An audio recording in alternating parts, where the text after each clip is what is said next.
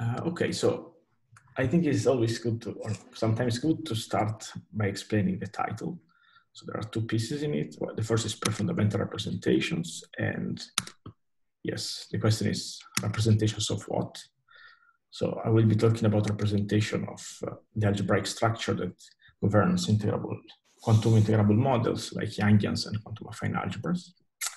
And uh, as the name suggests, and this terminology was actually introduced by uh, David Hernandez and uh, Edward Frenkel. Uh, they are this, somewhat the simplest representation of, this, of these algebraic structures.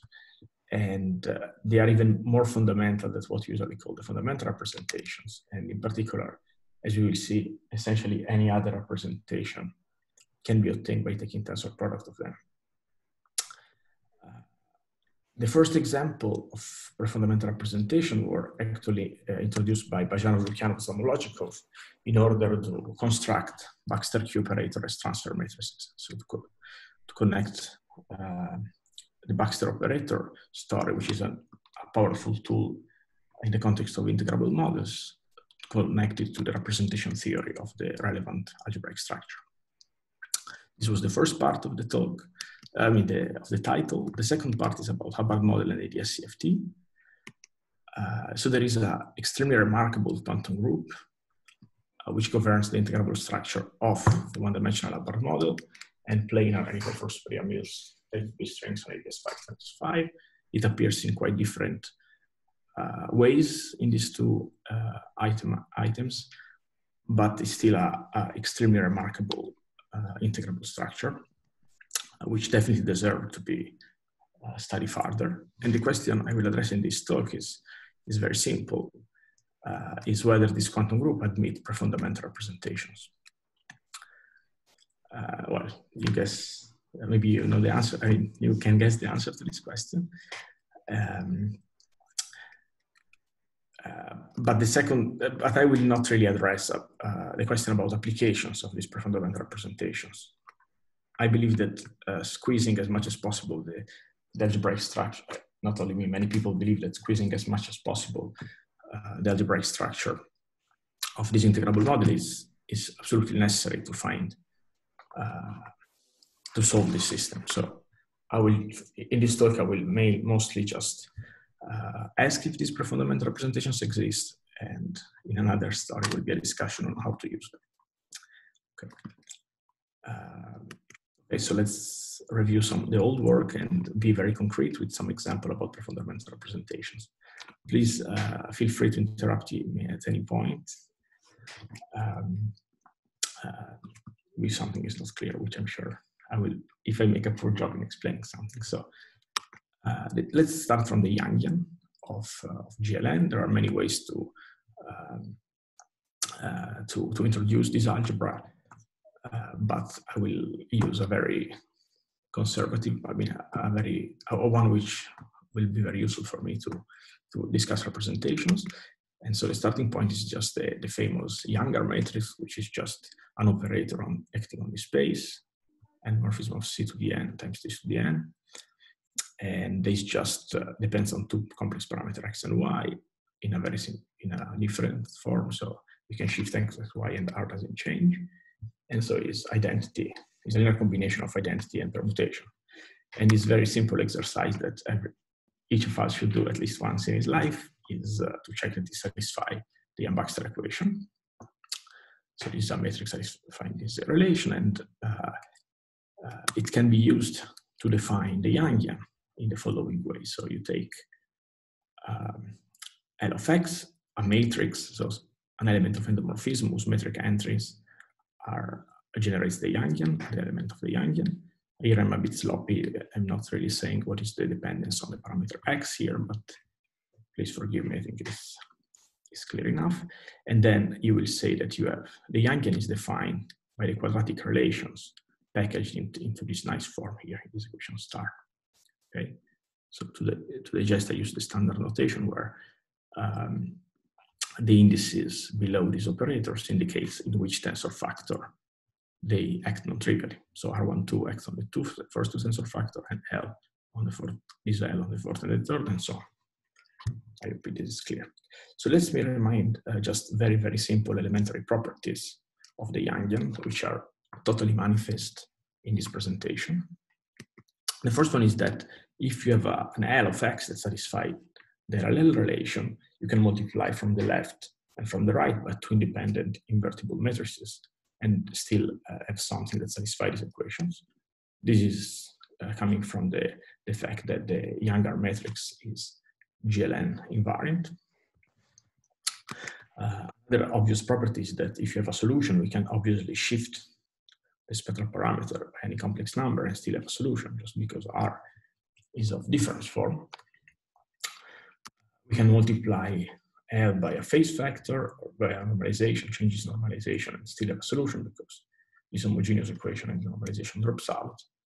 And finally, uh, maybe the most one of the most important one is that uh, the, the Yangian is a Hopf algebra. And in this uh, presentation, the coproduct is just implemented by matrix multiplication. So if you have two L that satisfy this algebra, also that product. This refers to matrix product in the first tensor factor and tensor product in the second factor, in, in, the other factors. Uh, so if this is a solution, also this does, and this is, is the standard argument that let us build monodromy matrices out of uh, fundamental lax operators. Uh, and it's very easy to show that this guy here satisfies the RLL.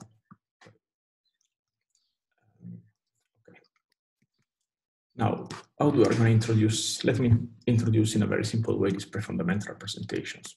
So let's copy from previous page the RLL relations. And uh, there is a very simple way to find family of representation of the Yangian by starting from, uh, by just making an ansatz for L. An ansatz regarding is dependent on the spectral parameter and is leading order at large spectral parameter. So if you take this ansatz for L of Z, where L1 is by definition independent of the spectral parameter, is a very simple exercise to check that if you plug this in back in, into the RLL relation, you get that the matrix entry of L, denoted by L1 ij, satisfy the GLN commutation relations. Again, this is an exercise that I recommend uh, everybody to do. Uh, and this observation allows to build many representation of the Yangian because we can pick any uh, representation of GLN that we want. We can tensor use tensor product repeatedly. We can shift spectral parameter as we want. So build uh, uh, many representation. But the question is, are there more? Did we miss something? And let's make a very simple generalization of the previous ansatz, where you just take, uh, instead of the identity element at large spectral parameter, you take some matrix A at leading Z, and then some B at uh, higher next order, and uh, we plug it in back to the RLL relations, and we find that uh, they imply that the matrix, the entries of the matrix A are central, so they are number, and serves as structure constant for the algebra of, of the matrix entry of the matrix B. I will be specific, more specific in momentarily in a concrete example. So we are looking at solution of uh, solution of the RLL relations of this form. And uh, since Aij are central, and we have uh, the property, the first property here, that we have the freedom of multiply by left and right with G and F. Well, what really matters here is only the rank of A, and uh, we can always uh, bring it to this form. So to be, let's digest this notation. So this is just a matrix which has one and zero. It's, it's a diagonal matrix with one and zeros on the diagonal, and uh, there are one entries uh, where the and for the entry uh, associated to the index to a subset of the index one to n. Is it clear? So we take a subset of one to n, for example, one to five, and then uh, where n is fixed, for example, one to five, and then we take a, diagonal matrix where uh, as entry one in the diagonal entry one, one, two, two, and five, five, and zero otherwise. Okay. Uh, so Carlos, yeah, there is yeah. a standard question here. Yes. Uh, so official definition of Yangian has yeah. identity in one over the this uh, expansion is by definition of the Yangian. Well, it depends. Yeah, how flexible. How would you want to define the the standard uh, definition of the Yangian is, is what you're saying, of course, to have the coproduct. Yeah, so so there's a standard, I mean, like there's official definition that you can't in textbook. Uh, there it starts with identity. So your structure is not allowed. So of course, however, why it's useful. Uh, but the question is, uh, uh, what is the reason to, well, uh, well, Yangian was, was defined for some reasons, right? Uh, so well, maybe having, have, having identity there um, has some meaning apart just people uh, is this a question it's not so yeah listen i don't want to go into deep macro uh, uh, Carlo, yes, yes. I could say just a sentence about this. So, uh, Mitra, I don't know if you've heard what are called shifted Yangians. Yeah. Mm-hmm. So, a Yangian is kind of a special case of a shifted Yangian.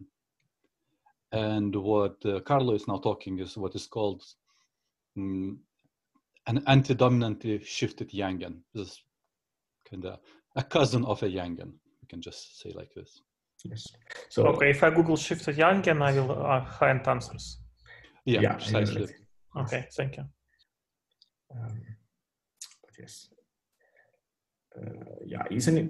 There are a few things, uh, but yeah, there is also a story about going from the quantum affine to Yangian, where in the quantum affine case there is no such a problem it's just I think it was just a kind of too restrictive definition of the Yangian in the original Drinfeld story, and then people realized that you can relax a few things. But exactly, thanks for the reference. Okay, uh, I hope the notation. So for, for, now, not too much happened. Just discussing this L of Z with the structure linear over Z, where A is now of this form. And now let's take the example of uh, the Yangian of GL2, just to be concrete. Oops. So we start, we take the set to be a subset of the set 1, 2, which is the same subset 1, essentially the only non-trivial proper subset together with 2. So, and this is the definition of the matrix A1. And then I just uh, renormalized L compared to here, multiplying by Z, but it's not really a problem because of one of the properties I mentioned. And uh, uh, what one finds is that the matrix entries of the next to leading order expansion of L satisfy the oscillator algebra. Uh, here I'm actually cheating a little bit. I have to say, I will say a remark, but let's ignore that I'm cheating. Let's just take as a message that this object easily is easily to show the RLL relation the Yangian of GL2. And uh, his entries are taking values in the oscillator algebra of one bosonic oscillator denoted by A. This is commutator. And similarly for L2, if we start with this other asymptotic, you get this. Um, the example of the Yangian of GLN is, is very, very similar. And uh, now instead of, now here I decided by using permutation of row and columns of this matrix by Weyl symmetry to take the set I to be of this form consecutive elements. And uh, now A bar and A, the oscillators are not just single oscillators, but are just rectangles, rectangular matrices of oscillators to fill this matrix properly. And uh, of course, this is a rectangle, so there are P times N minus P oscillators. But there is also a GLP factor. Oh, this is not okay. A GLP factor. So uh, we have obtained some homomorphism from the uh, from this algebra, tensor product of H times G universal velotic algebra of GLP into the Yangian. Uh, sorry, maybe you yes. mentioned this, but uh, so uh, if I take uh, any matrices A and B with such properties, are you guaranteed to satisfy Yang-Baxter equation? On, your previous slide. Yeah, so A and B. So yeah, thanks. So here I have to in this second, I'm guaranteed, but in the second line, this is a bit implicit. So I'm saying Aij yes, structure constant for the algebra of Bij. In the same sense that uh, delta ij are structure constants for algebra of Eij matrices. Exactly. Just mentioned one element. That's correct. That's correct. So if you understand this sentence as you're saying, the second line here, then the statement is, is, is exactly. I think so. But uh, let's in fact just add a small remark, which is that, well, here I put the entry one. But of course, the Yang Baxter doesn't tell me that this has to be one. This could be any number, but as long as it's non-zero, um, I can rescale it up or down uh, using the, the property one that I already used. Uh, but if it's zero, I, I mean, of course, if, as long as this entry is not zero, I got the oscillator algebra. If this entry is, is zero, I'm getting uh, the L operator for the Toda chain, which is some sort of contraction, where, where the oscillator algebra gets contracted the Euclidean algebra. Uh, and in fact, I think Rouven has a paper with uh, uh, with Vasily Pestun, uh, I think discussing in much greater generality this type of L operator, but in the classical case, if I remember correctly. But yes, just not to give wrong information, but definitely these operators satisfy the LL relation. Okay, now we introduce them. Let's now, they are pretty simple. I would say they are kind of even simpler than uh, the, this type of L operator here. But let's study one of the remarkable property is how they behave under tensor product. So the observation, which is very simple, is the following.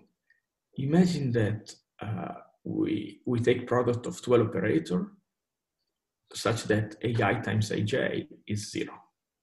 And this can be achieved, like uh, can be achieved if i and j are two non-intersecting sets. Okay, if ij are two non-intersecting sets, then the product of the matrix i, I with aj is zero. But this implies that the product LILJ is again of the form above that you have studied, which is still linear in the spectral parameter, which implies that we, have, we must have some relation of this form. Okay. Uh, let's see how this works for Yang of GL2 in a very concrete two by two matrix setup where you can just check with your, with your paper. Uh, so we take the product of 12 operator as, um, as described in one of the first few slides. So uh, what do we have? We have an L operator, which is a matrix. So and C2 is the first factor, then the third and the second factor are, the, are two copies of the oscillator algebra.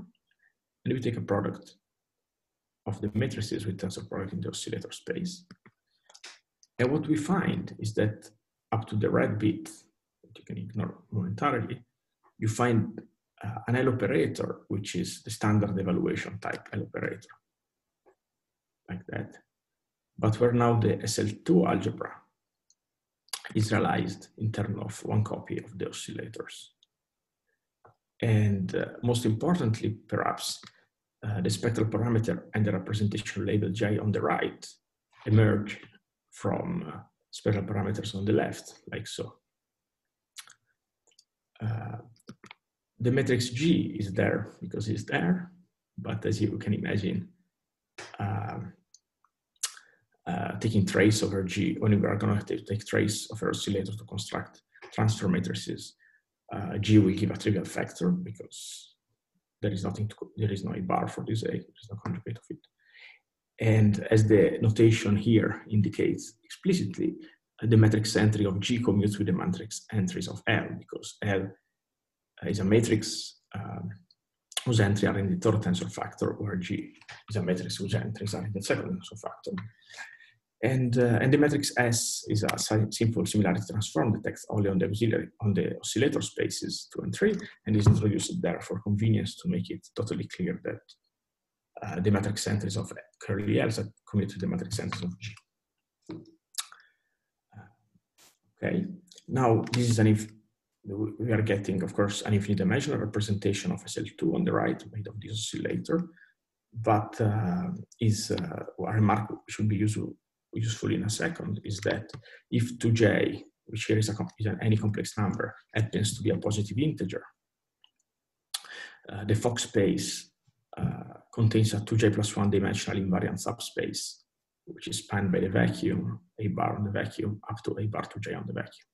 In fact, it's clear that uh, j plus x within this space because it just lowers the number of oscillators J3 also acts within because it's just counting the number of oscillator, while J minus uh, move you down to the chain, but of course, when it acts on this guy, it's going to give zero because this factor is giving zero. So it's clear, it's easy to show that this is an invariant subspace. Okay, so we have introduced some representation and uh, hopefully I already justified the name pre-fundamental. In fact, if it's j is equal to one half, uh, you're saying that the fundamental representation of SL2 is obtained by tensor product of these oscillator representations. Um, so the name is already justified. But let me see uh, uh, to show one of the first simple applications. So uh, how this uh, is useful to derive functional relations and construct Baxter operators. So in the usual setup, what do you do? We, we think about the quantum space of our quantum spin chain to be a representation of the underlying integrable structure, which in this case, let's say is the Yangian. And uh, uh, Carlos, sorry. Yes. Uh, this, um, so uh, you have like two oscillator spaces, and Yes. well, it's a Fock spaces, and of course in the Fock space, uh, and in each of them actually can realize action of uh, of uh, S- SU2, right? yes, that's right. Uh, um, so the question, so uh, the question, you, you have these statements that Fock space contains two J plus one dimensional invariant of space. I just want to get feeling how non-trivial the statement is. I mean, because I can always find such space. But can you Well, comment the- on the the invariance? Invariance Yeah. to what? Yeah, the, the non-trivial statement is that when j is tuned, when j is tuned to be an integer, I mean alpha integer, uh, the L operator acts, so the, the entries of this L acts invariantly on this space, so they don't bring you, map you out of this of this space. Okay, uh, that's the non-trivial bit. So what will this will imply is when you take trace. So the point is that what happens is that you would like uh, this Fock space to be the direct sum of a spin J representation or J finite dimensional spin J representation plus an infinite dimensional minus J minus one spin representation, as I will explain in a second. But this is not quite a direct sum. But when you take trace, uh, or when you go to the Grothendieck ring in more mathematical terms, um, you- it doesn't matter if it's not a direct sum. You just get the direct sum of by by by taking traces. So this non-trivial statement is is not that you can realize SL2 on the Fock space, but it's just that things are tuned so that you have this invariant subspace.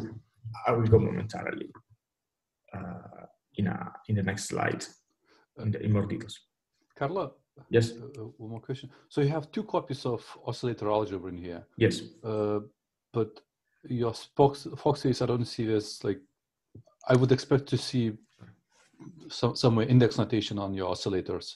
Yeah, it's, it's good. I'm a bit. Um, the notation is a bit condensed, but it's correct. So you see here L.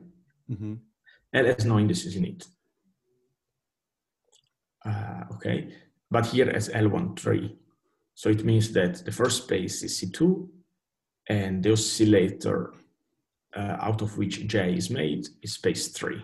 Oh, so this is the second copy of. Yeah, is one exactly. But for G12, is the other copy. As the notation indicates, is acting only on the second oscillator factor, while L13 is acting only on the third oscillator factor. After this is achieved by this disentangling of the similarity transform. So that subspace you have is, is basically is is a Fock space of a second Heisenberg. Yeah, exactly. Yes, yes. Okay, thank you.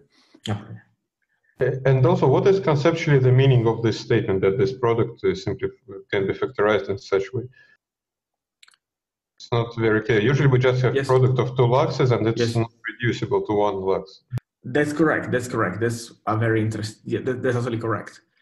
Uh, that's very. That's what makes this thing pre-fundamental. So that's the deep property of it. So usually, as you are saying, usually you take tensor product, which means product of L, and unless you tune the spectral parameters, this is just irreducible representation.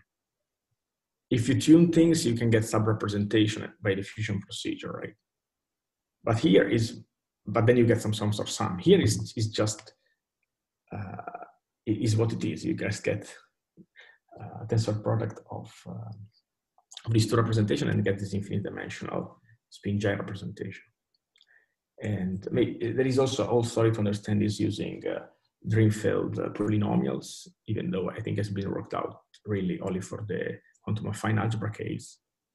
But I don't know if you're familiar with Drinfeld polynomials. Well, it's basically the highest weight of the representation, right? Yes, and the highest weight is uh, there is a current which on the highest weight uh, is just a rational fun is a is a uh, is a ratio of polynomials of the same degree. Right. Yes. But for this prefundamental, uh, the analog object is going to be a monom, um, an object either with one zero or a simple pole. And okay. You, and and and uh, and so you can make, of course, rational thing by taking product of those, since these currents on the highest weight, the action of these currents on the highest weight behave extremely nicely with respect to the coproduct. Um, so yeah, in the representation theory, maybe that's the way to think about it, but here it's very concrete and uh, is is a bit counterintuitive perhaps, but it's, that's what it is. These are, yeah, that's why they're called pre-fundamental somehow. the question. Uh, okay, so this is a fact and uh, is the statement, one would read the statement that the tensor product of prefundamental 1 with prefundamental 2 gives uh, uh, the infinite dimensional spin gyre representation. Uh, okay, now let's what what uh, what do we know? So we take a quantum spin chain. So the quantum space is a representation of some uh, some algebra like the Yangian, and then we can pick any other representation with, with, that we denote auxiliary we call auxiliary space, and we can associate an operator acting on quantum space to this V, which is constructed as a transfer matrices. So schematically, uh, you should think about it as a trace over auxiliary space of some universal object, which is uh, act on two central factor. One is the auxiliary space and one is the quantum space. Uh, uh, where we take some, when we evaluate some universal object, we evaluate in two representation and we take the trace of the auxiliary space. And we are left over with an operator in quantum space. Usually here you are used to uh, to having perhaps a product of R or a product of L, but this of course is, uh, is a, if you say that the quantum space is a product, then by basic property of the, R of the universal R matrix under coproduct, you will get the standard monodromy construction. But it's a bit schematic. And you can prove that uh, uh, this well, the old proof is using the Yang-Baxter equation, but you can actually not use the Yang-Baxter equation and just use that tensor product uh, of V1 and V2 is isomorphic to the tensor product of V2 with V1. And uh, they form a commuting family. So that's the important thing there. If many operators commuting with each other acting in quantum space, if there is an Hamiltonian around, it's going to be uh, contained in this family in some expansion in some parameter. And uh, what are functional relations? Well, uh, the powerful thing of this construction is that uh, relations between the representations V, the representation in auxiliary space, translate into functional relation among the associated commuting transfer matrices. So a bit like characters do. This, in fact, if you think about this TV as some sort of quantum characters. And I will explain a bit better in a second in a concrete example. Uh, and just to set the notation, I will denote Qi of Z, uh, uh, the trace over the oscillator space of this Li operator I discussed before. Uh, as you can see, I will, though I didn't put in this notation, I will take the uh, GLP factor, which is, sorry, the GLP factor here, this J, curly J here to be trivial, constructive operators. Otherwise, you get some generalized transfer matrix, which is also interesting. And then, uh, as you can imagine, since this guy here is going to be a polynomial in the oscillators, uh, the trace is not defined, so it's not convergent. So you need some regulator, some some quantity that you put here to uh, to to make the trace convergent and is compatible with integrability. But I don't want to go too much in details about this, these quantities. Uh, but let me also remark that while here the quantum space is the tensor product of the fundamental representation because L, each L was acting fundamental representation times oscillator space, uh, the generalization to other representation in, in, quantum space is straightforward. Is straightforward. One need to uh, construct the appropriate V tensor of quantum R for V is the oscillator space. And this is done by solving linear equations or otherwise meaning like evaluating the universal R matrix. I hope this is a bit abstract, but the, the message is very simple. You have quantum space, which is a representation of the Yangian. Then you pick another representation, which is the auxiliary space. You take trace over it to construct these operators, form a commutative family, and uh, define, uh, satisfy functional relations originating from um, a relation in the uh, in the representation category. Okay, so let's go to QQ relations and put to good use the previous formula, which is this one, which we discussed a little bit. Okay, so let's put to good use this formula.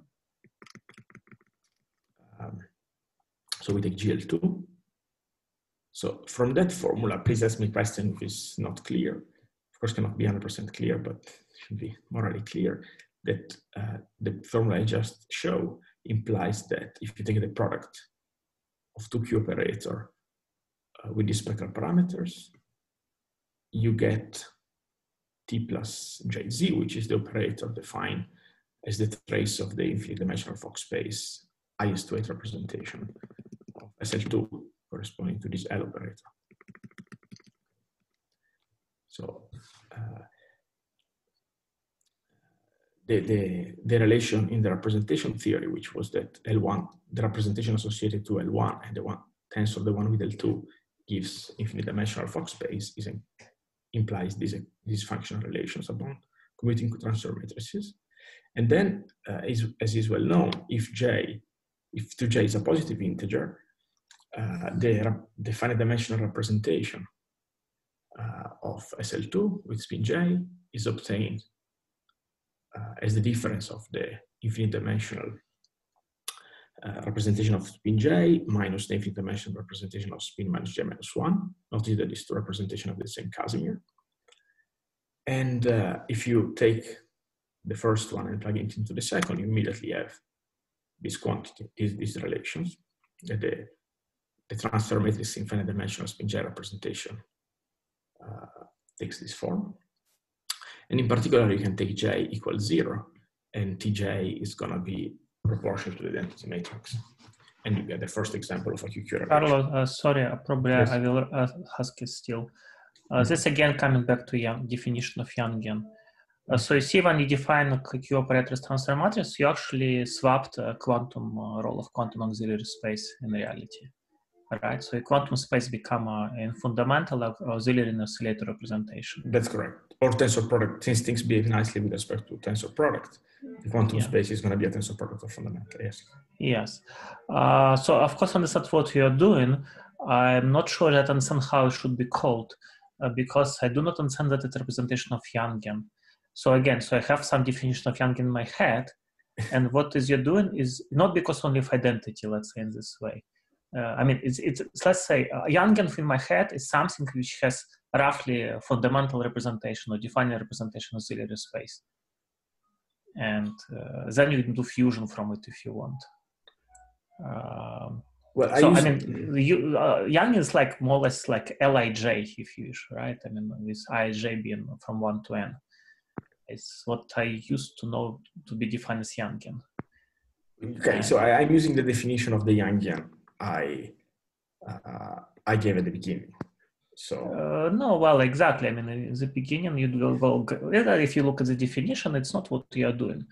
Uh, you have R which is uh, U plus permutation, and tell uh, commute with it, but it's not this R that you're using to in, in this context. Uh, your space is your auxiliary space is no longer n-dimensional; it's X Fock space, right? Yes, and, but I, as was described. So the only tricky bit is to prove that if you want to uh, complain, yeah, I agree. I mean, there is good reason to complain about this. You can be, you can complain about the commutativity. So you can say, well, uh, So uh, using the definition of Yangian, you can call it shifted Yangian if you prefer, or give another name, but I'm using the definition I introduced before. Uh, okay. Could, could I interrupt Yes. you guys a little bit? So, um, so when you're talking about spin chains, you have auxiliary and quantum spaces, and you have a Yangian. What you're doing, you're exploring the property that Yangian is a Hopf algebra, and that allows you to equip each factor, each auxil- well, one auxiliary and each quantum space with a representation of a Yangian, because it's a Hopf algebra. Now, what Carlo is starting with a shifted Yangian. Shifted Yangian is not a Hopf algebra. It has a coproduct. And in this particular case, what it does, it maps a shifted Yangian to a tensor product of shifted Yangian and Yangian. So eventually he gets uh, a representation of a shifted Yangian in auxiliary space and lots of representations of Yangian on quantum space. Everything Okay. then matches. But this is again, because once you go to shifted Yangians, we are not Hopf algebras, but something similar.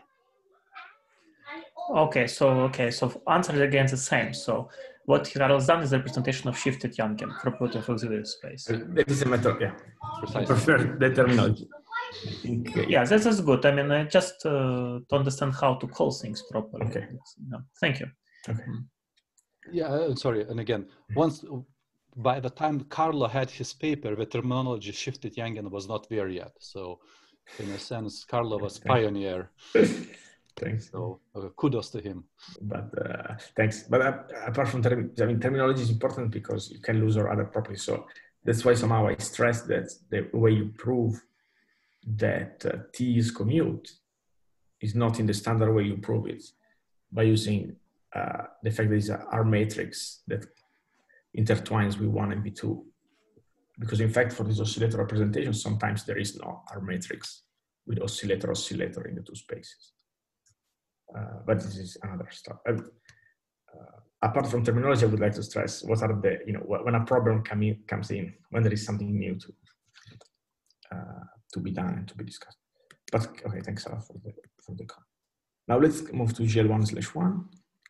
The story is very similar, but is in fact essentially identical. But you can already see, if you don't want to go into this, if you look at this equation, if you replace bosonic oscillator with fermionic oscillators, as will be dictated by the graded Yang-Baxter, this term, for example, is going to be absent because if this is a fermionic oscillator, it squares to zero.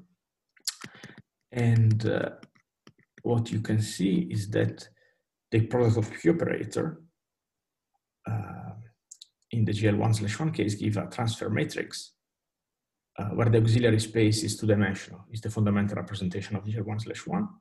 But the fundamental representation of GL1 slash 1 is actually a non-trivial parameter, which is the central element, uh, as a representation label, which in this fusion procedure gives uh, is just the difference of the spectral parameters. So similarly to here, the spectral parameters on the left recombines into spectral parameter and representation la label on the left, from right to left. And uh, when uh, the, the representation label is zero, again, the two-dimensional representation of GL1 slash 1 decomposes into the, contains a subspace and decomposes into the sum of, uh, oops, here I should have put no epsilon, I forgot to remove it. Uh, decomposes into the sum of T where the auxiliary space is the one-dimensional singlet representation, but the spectral parameter is shift. So notice that this minus is really coming from, it's just a trace of a two-dimensional space, but it's, a, it's not a trace, it's a super trace. So that's why there is a minus. So we are taking a trace literally of a two by two uh, matrix, super trace of a two by two matrix, which is block diagonal. Well, all the factors are block diagonal in the product, and uh, it's just the sum of the difference of the elements in the diagonal. And uh, uh, by plugging again this equation, uh, the t pluses, this form into this equation, you get that the QQ relation of this type. This was a bit quick, but I hope uh, it gives you at least a flavor of how they work. So uh, how the the tensor product of two fundamentals give an SL2, which is simply the dimensional representation, and then by taking a difference, you, you extract the spin j representation or eventually spin zero representation, and similarly for the super case. Now for uh, GLN slash M in general, by similar methods, you can prove Q correlation of this form. Let's just digest it more entirely. So uh, now we take, we have a set which has, we have N slash M. So we have a set and we can decide if you take a, a an element um, from uh, of the first n entries of gln slash m or the next m entries. And if you take two elements of the same parity, so for example, two elements from 1 to n or two elements from n plus 1 to n plus n, uh, you get these Q correlations, which are very similar to this one. So you can see here that you take a product of Q operator, one labeled by a set i, then the other by a set i, where you added two elements of the same parity. And here you have the same spectral parameter uh, in auxiliary space.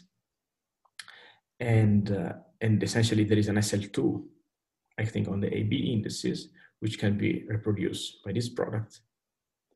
And, uh, and again, by subtracting the two, uh, the spin zero representation and the spin minus one representation, you get the singlet. And similarly for, for the fermionic case, where now you see that you have a set I and you add A and B of different parity.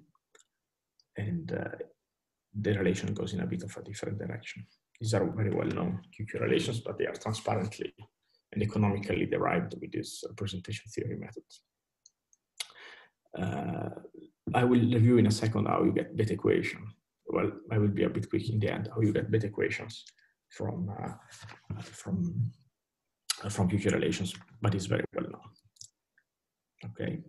Any question? Maybe it was a little bit abstract, but I hope the message was. I mean, if you want to do it, you should do it yourself with pen and paper. But I hope the message was uh, was clear. Uh, I have a question. Yes. Uh, so actually, maybe this slightly ties in with what Dima was saying, and maybe the answer is again just shifted Yangians, but I'll ask anyway. Mm-hmm. So if we start with monodromy matrix or lax operator in fundamental representation in auxiliary space, right? So mm-hmm. we view this as some n by n matrix with entries acting on the physical space, right? Yes. An ORLL relation gives us some nice commutation relations, right? It's like u minus v commutator of tij tkl equals whatever. Mm-hmm. So I put the auxiliary space into some, say, pre-fundamental representation as you're discussing. Then, of course, I can no longer view this thing as a matrix really, but it'll be some tensor factor, right? Something in oscillator, like some oscillator times some operator acting on physical space will I then be able to construct some nice commutation relations analogous to uh, RTT or something like this? Well, um, okay, so thanks for the question. So if, um, let's see, so, you know, when you, when you get, you start from RTT, which is, yeah, with this one, you start yes. from RTT, and now usually what you do, you take uh, T is this L, and you take uh, uh, an infinite series, let's say one over X for this L, starting with one. I, I mean, it's just a, way to rewrite the very same equations, mm-hmm. which are here um, with uh, um, uh, with the, with the, the, the, component in the expansion at large x in some in some Laurent expansion. Uh, if you do, I mean, there are I'm sure there are some paper about shifted Yang where they write them explicitly. Mm-hmm. Uh, you know, you could, but here, uh, yes. So uh, they have some slightly different. You know, they are just slightly different and just slightly messier. But you can of course write these these quadratic relations. But yeah, I mean, um, they are anyway. These equ- the equation is the same. It's just you're just slightly generalizing this one. Something. Uh, so Maybe let me re- let me sorry uh, let me rephrase. Is there is there is a R matrix uh, for scattering of two oscillators? That's another question. So it's a good question. I think it's uh, equivalent to Paul's question. I yeah, see. so actually that's exactly like, so if I also put pre-fundamental into the physical space, can I use some pre-fundamental RTT relation as a building block for the usual RTT relation or something like this? Uh, no, I don't think I, so definitely you can start thinking about this equation where you play with space one to three and put mm-hmm. whatever mm-hmm. you want there for example, you say one now is not the fundamental, but is the oscillator, one of the two oscillator representation. Okay. Mm-hmm.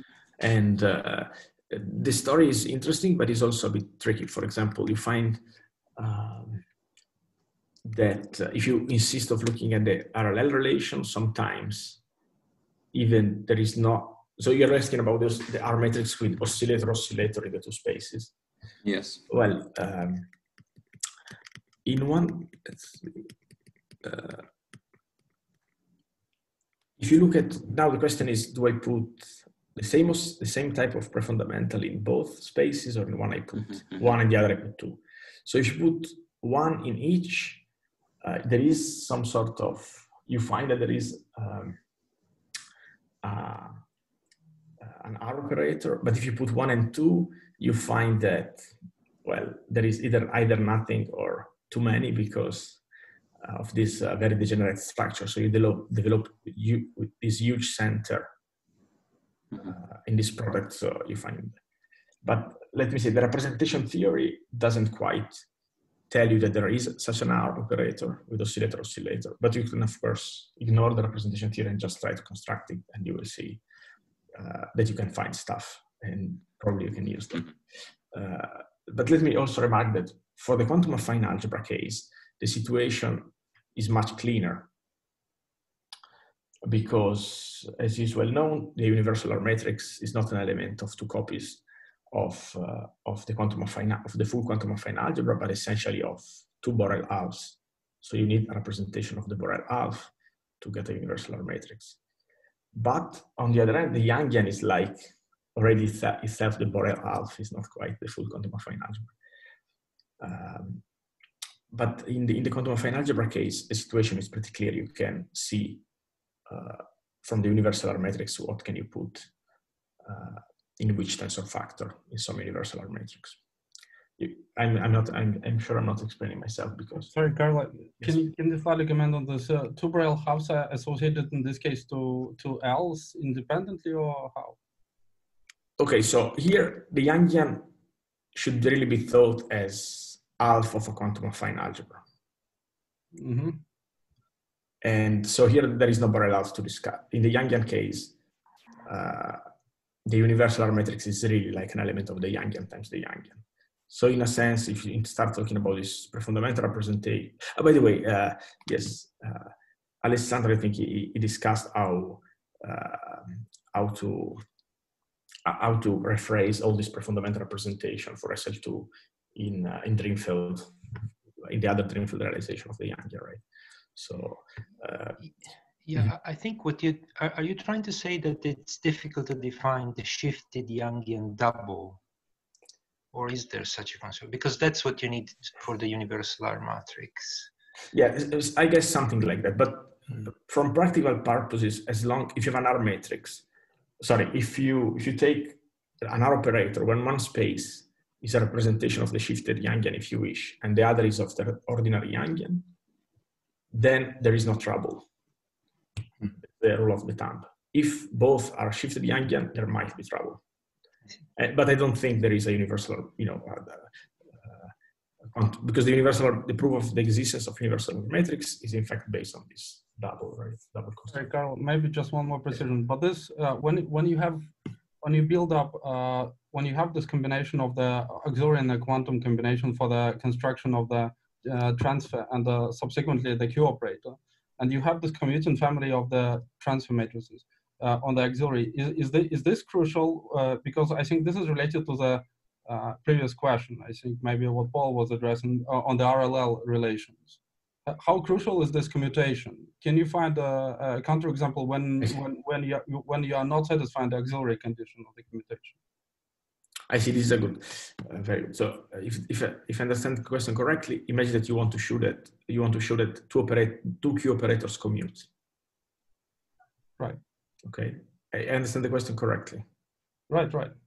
If you want to show that two Q operator commutes, the old argument to show the transfer matrix commute is to show that there is an R, there is an R matrix which intertwines V1 with V2, so RV1, V2, something like that, Yes. which is exists and is invertible. That's the old argument to show that transfer matrix commute. But for Q operators, it's not there, this R operator. It's not necessarily there, it's Mhm. R. And but if you think about it, all you have to show is that the tensor product of V1 with V2 is isomorphic to the tensor product of V2 of V2 with, with, with, with V1. Of course, you can show that they are isomorphic, but by introducing an actual intertwiner, but they can be isomorphic even without constructing this, this intertwiner from the universal matrix.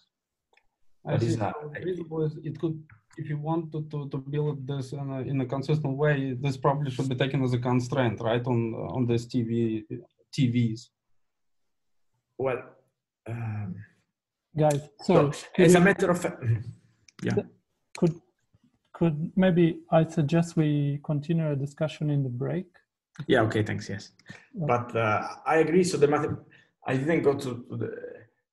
Um, yeah, this is a bit of a weak point, and I was a bit sloppy about how do you prove this commutativity, but uh, we, we can go later about it. If there is another matrix, uh, appropriate other matrix.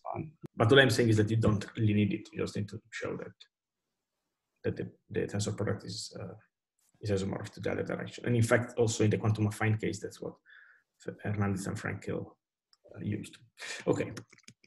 Carlo, is it? Yes. Uh, ah, yeah. You, you want to stop? Can, no, you can go five more minutes if if it helps. To so this is the review. So another point. My there are two options. So the other is part two, uh, and part two still contains some review material. But uh, if you prefer, we can just uh, have a few more minutes of chat now and then resume. I mean, if you want, you can have part one and part two. Oh, okay. Each other. Uh, okay, if you're the end of part yeah. one, yes. then it seems like a good point to have a 10 minutes break. Okay. Yes. Okay. So, okay, th thanks, Carlo. Uh, be, um, before the break, we, we have um, two announcements. So the first one is uh, from Pedro. If, so, uh, Pedro, if you're here, can you, hello, share Hi screen? Yeah, please. It's all. Can you hear me? Yes. Okay, very good. Hi, everyone. So I will now share my keynote. Just a second.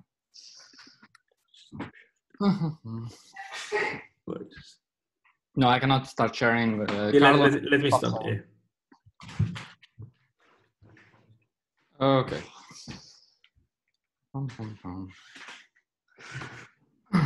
Okay, so as you probably all know, the original plan was to have IGST in Sao Paulo. So it was going to be the first time uh, we would have uh, an IGST in South America. But of course, with uh, all this COVID stuff, we have to, to go online. And I hope uh, in a in a in a few years we'll be able to to meet in person in Sao Paulo and to have uh, another IGST in Sao Paulo. But uh, let me tell you about what's the plan for this IGST online. So he, I try to really be keep only the most important information, which is in this slide. So uh, first of all, the website is, is written here. It's exact at ictp-saifr.org. So you will find more information there. Uh, the plan is to keep the same date as originally planned, which will be August 24 to August 28. And uh, we'll do it on Zoom, of course. And we'll do it in the morning in the East Coast and in Sao Paulo. And uh, the plan is to do it uh, in uh, the afternoon in Paris time, say, where most people are. So this was a reasonable time. So it's the full morning for people uh, where I am, for example, and it will be the full afternoon for where most of you are, I guess. And uh, and the plan is to try to have uh, six talks per day, but not really six talks. The idea is to have two 30 minute talks, so like 25 minutes plus five of, of questions, and then a 30 minute discussion. And whenever possible, we'll try to make the discussion topic related to the previous two talks so that there is more option, more uh, opportunities to ask questions to the speakers, to engage the speakers a little bit more, and to have a more informal uh, setting of discussion. So, so this is an attempt of trying to keep the spirit of IGST very informal, to keep lots of time for interactions.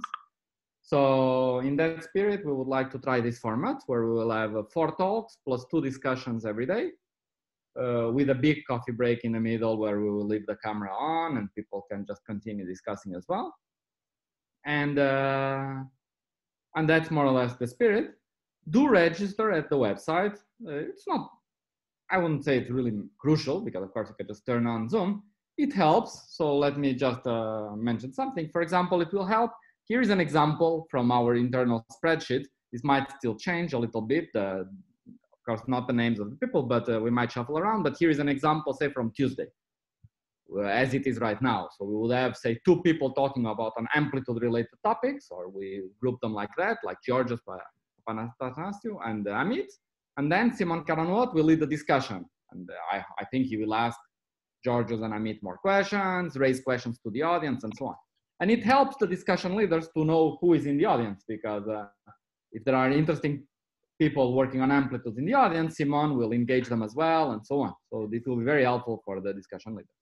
Similarly with Shota, who will be in this session that will have two small talks on boundaries, and then Shota will give his own discussion on a more like an overview, big picture uh, discussion on, on boundaries. Uh, something I would like to do as well that worked very well at an, a conference that I was a few a few weeks ago was Amplitude 2020. They had this Slack channel, and Slack channel worked super well because after each uh, people that would give talks, they could create a channel, and then people could go there, ask questions. Other people would go discuss. It's all saved. People could provide references. It was extremely useful. And of course, to provide the link to the Slack and so on, it's very useful that we have a database of people registering. And also, it's important for mail announcements in case we have to change Zoom link because we are hacked and uh, the previous Zoom now is full of porn or something like that. Okay, and uh, so so that's basically it. Uh, so yeah, uh, I think it will be a fun meeting. And if you have any comments or suggestions, we will keep it very informal, and we are still willing to try things out. But uh, for now, that's the basic. Uh, that's the basic plan. We still have like a few slots left to fix. We'll still make a few more invitations before IGST. But uh, I hope it will be a very informal and interactive meetings uh, like these ones here are. I mean, so I really hope we can keep the same spirit as this London integrability meeting. So I don't know. I don't think I forgot to say anything, but and I don't know if any of my co-organizers that I probably should have listed, but it's in the website but I think that's it. So hope to see you virtually and then physically in a, in two or three years, perhaps.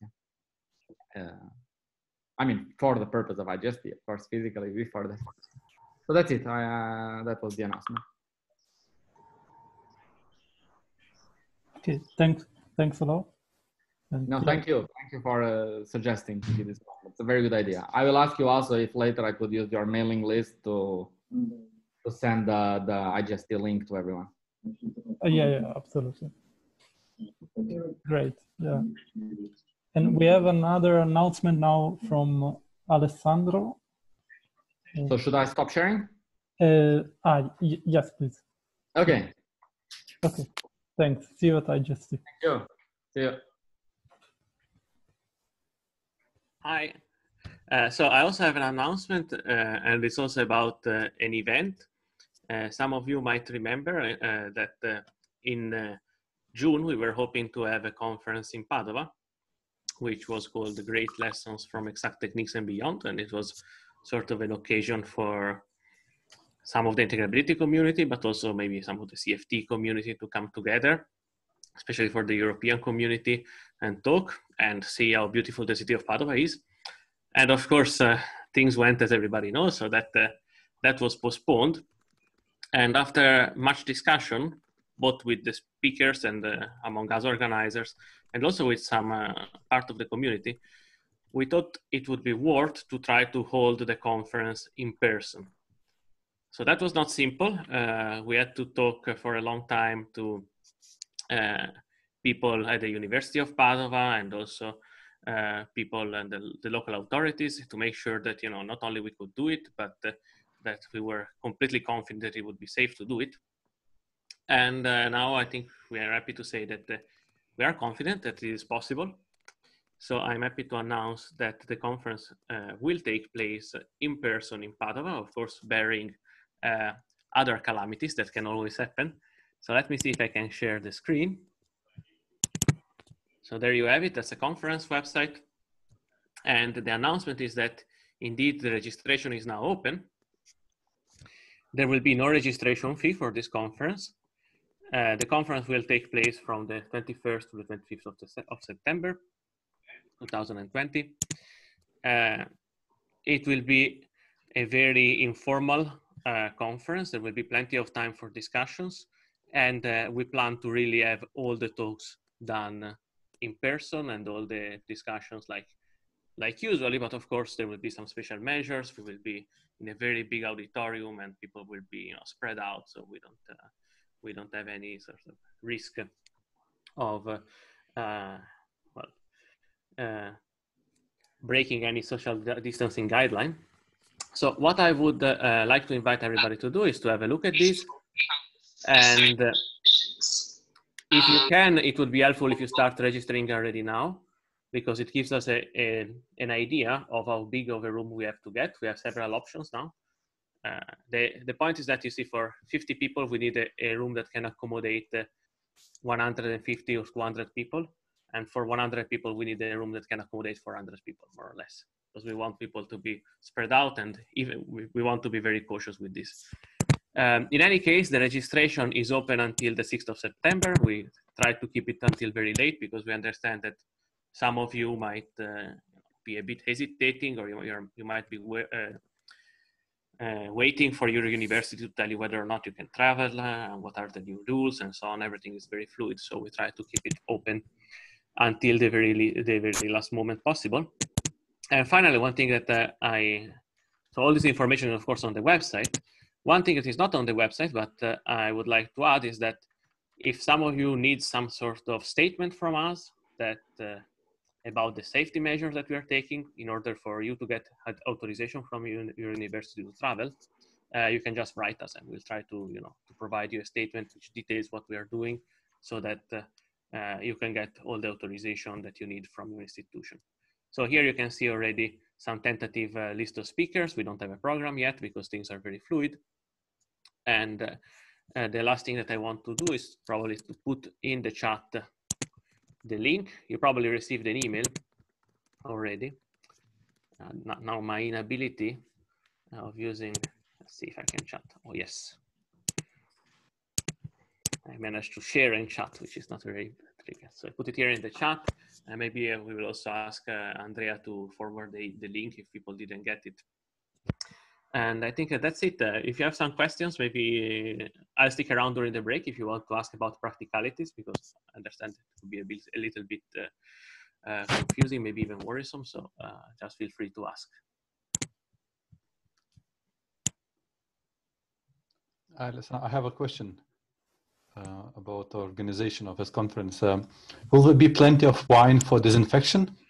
So uh, there will be one thing that, uh, uh, on the other end, we decided to do is that officially there will, and very sadly for me, breaking my heart, there won't be a social dinner because we cannot officially say that we put you in a room, but we can certainly, you know, like create a process by which people will end up in a room and drinking wine, even if officially it won't be us reserving the room and organizing a social dinner.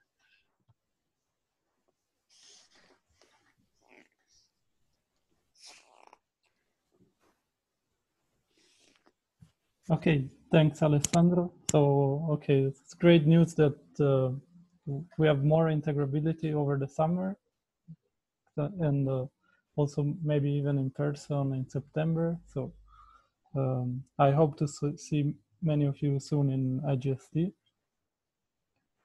and maybe also in Padua.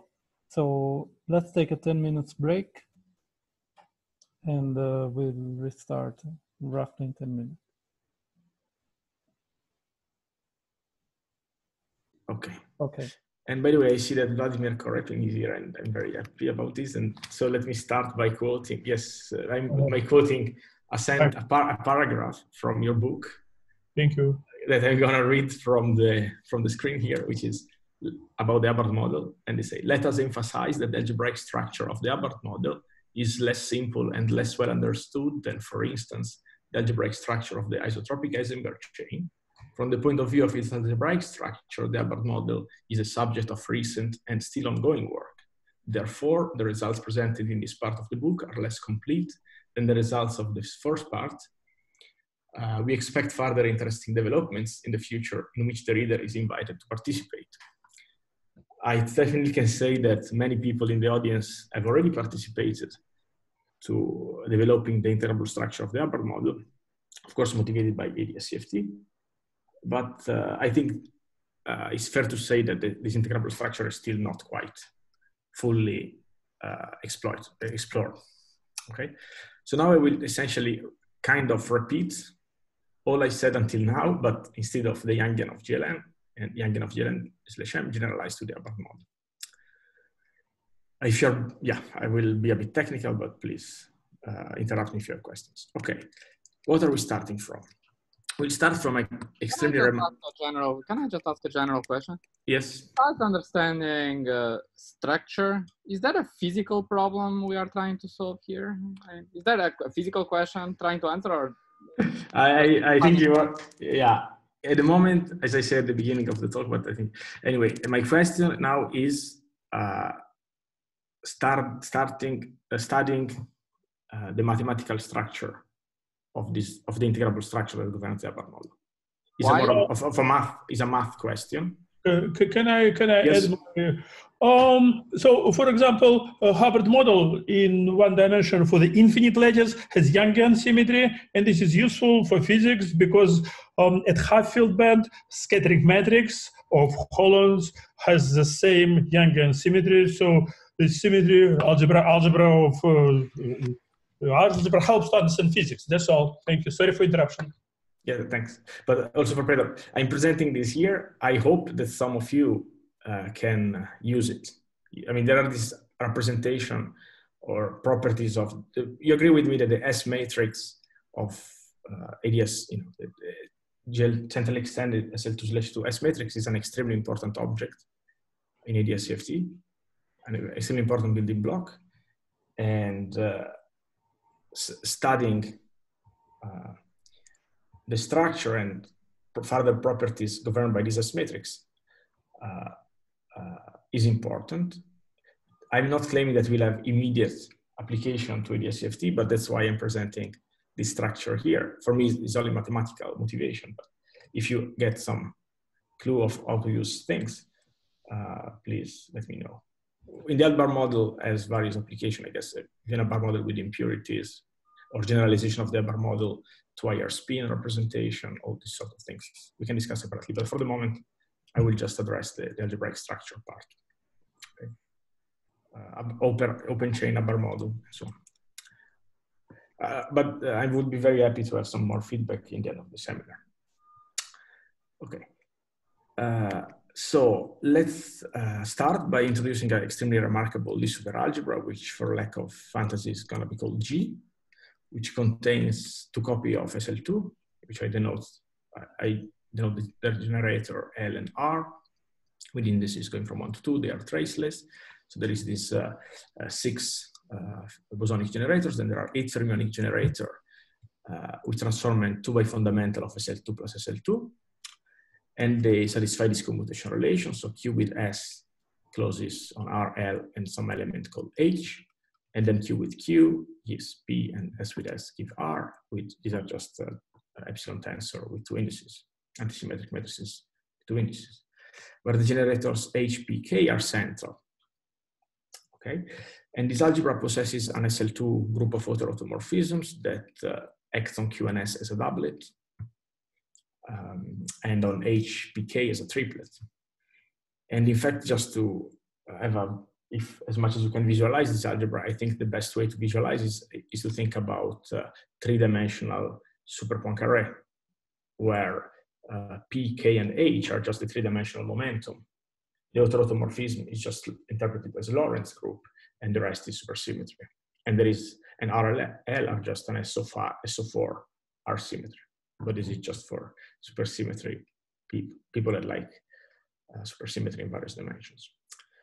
Um, the Cartan of SL2, of this SL2 automorphism, provides a grading of the algebra, of course, which is uh, is negative grading normalized to minus 2 to k, minus 1 to s, 0 to LRH, plus 1 to q, and plus 2 to p, uh, to, to the central element p. And uh, we can use, uh, every time you have a grading, you can introduce, a, you can define a coproduct just by introducing a braiding factor that depends, X, the coproduct electrons on any, on any, on any generator with a, with a braiding factor that depends on the weight. is easy to show uh, that the coproduct preserves the algebra commutation relations. Uh, assuming that U is central and, satis and is satisfied this property of the coproduct. As you can see, uh, uh, this coproduct is uh, uh, the coproduct and the opposite coproduct are different, where opposite coproduct permutes the two factors. But uh, uh, the beautiful story of integrable models, the Hopf algebra structure of integrable models, is that, well, it's different, but the difference is very uh, under control, under very good control. Namely, there is an, an object in some space that I will specify shortly that, uh, that satisfies this property that intertwines the, coproduct, the coproduct and the opposite coproduct if you look at this equation and take J to be any central element, which we have taken three of them here, H, P, and K, you immediately find that this gives you a, a constraint, uh, which you can uh, essentially, without loss of generality, you solve. You, oops. Um,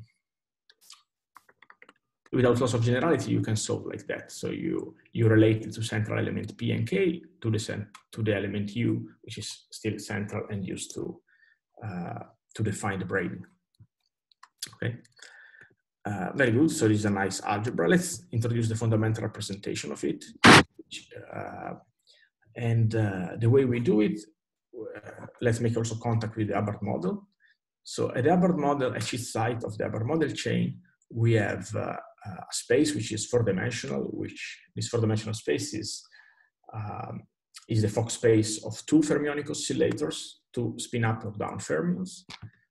These are created by the operator C bar or sigma, this is each side of the chain.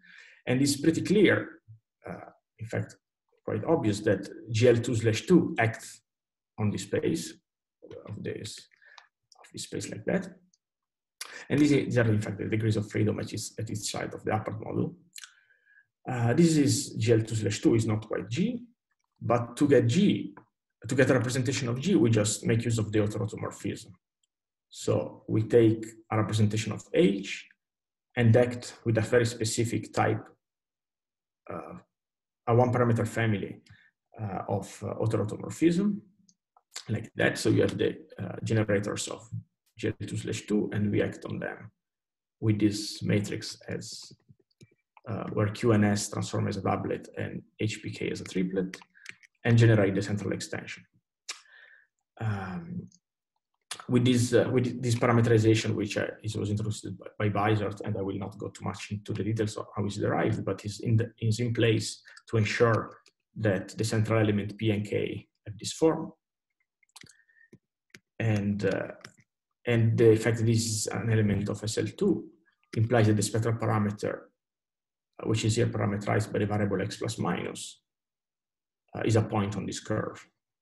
Okay, so there is this the very first interesting property is that uh, to specify a representation of G, subject to the condition mentioned in the previous slides, we, we need the, from nothing we get this this curve. So we have a, we have to pick a spectral parameter as a point on this curve.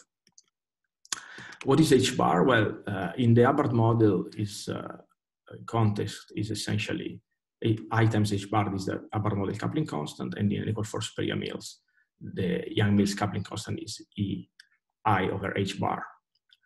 So uh, what we see is that uh, H bar to infinity is the is the Yang-Mills weak coupling. So the spin chain, the standard nearest neighbor spin chain of n equal for super Yang-Mills emerges H bar to infinity, uh, H bar to uh, to infinity.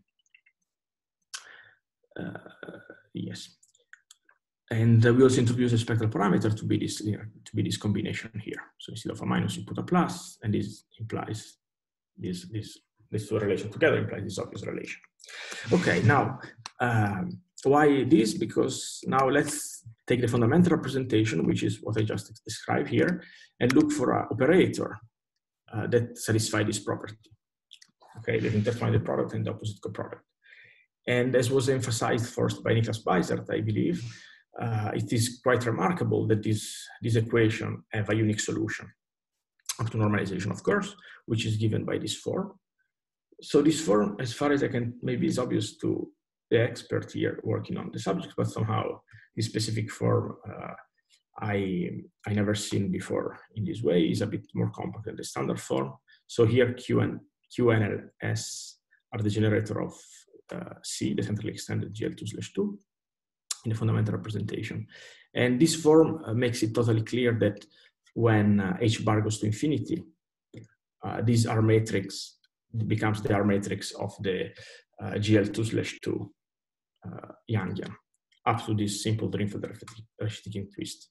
I think you can see almost with your bare eye by noticing that x plus, minus, x plus x minus goes to infinity when h bar goes to infinity. Okay, uh, I think many of you have uh, seen this R matrix, uh, but uh, if you want to show, for example, that this satisfy Yang-Baxter equation is already a pre pretty painful exercise. You can agree or disagree, but I think it is. Uh, it's essentially the Shastry R matrix and is expected satisfy Yang-Baxter equation. Now I'm gonna literally repeat what was done before, starting from the Yang-R matrix, but now starting with this, uh, with this very much more complicated uh, fundamental R matrix. And this is the approach um, uh, that was uh, discussed by Beisert and Marius, Niklas and Marius a few years ago already. And uh, so you just say, I don't want to go, you know, to think, well, I have to think, but I want to just look at the RLL, I take an R, and given an R, I will look at L operator satisfying the RLL relation, exactly as done before.